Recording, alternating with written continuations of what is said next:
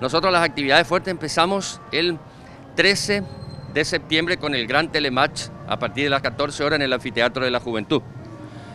Al día siguiente, el 14, se va a realizar el gran, la gran maratón estudiantil que se va a desarrollar en el Paseo Costanero a partir de las 14 horas también, pero esta particularidad es que vamos a estar todo el sistema educativo, todo el sistema educativo trabajando para que sea la maratón del Ministerio de Cultura y Educación, donde van a estar los niveles inicial, primario, secundario, superior.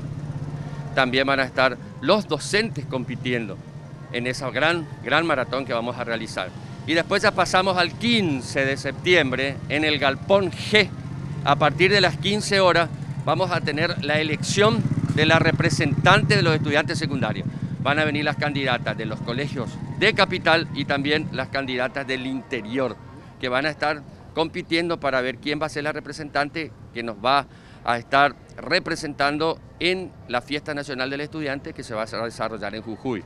Y culminamos el viernes 16 con la jornada de expresión libre, eh, recordando y festejando también el Día Nacional de, eh, la Juventud, que el 16 Día Nacional del Estudiante, recordando la noche fatídica de los lápices. Vamos a hacer también una actividad hermosa ahí en, la plaza.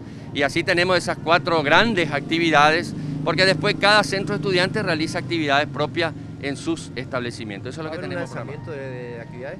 Ya nosotros, no, acto lanzamiento no, porque nosotros ya hemos realizado el acto lanzamiento de la actividad de FES en marzo, porque siempre estaba la idea de que eh, la Federación de Centros Estudiantes Secundarios empezaba su actividad en septiembre.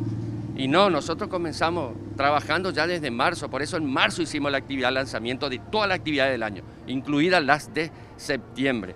Por lo tanto, ya ahora no, decidimos no realizar más el acto que, que lo hacíamos siempre en el Paraíso de los Niños, porque ya lo hemos realizado en marzo cuando se hizo el acto de lanzamiento.